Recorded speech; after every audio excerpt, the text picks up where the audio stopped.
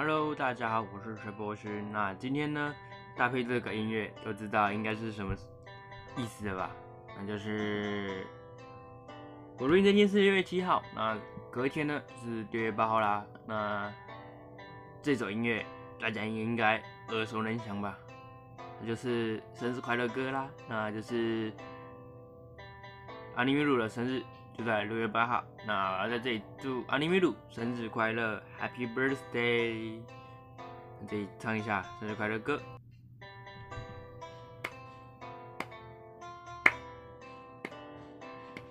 祝你生日快乐，祝你生日快乐，祝你生日快乐，祝你生日快乐，Happy Birthday to you。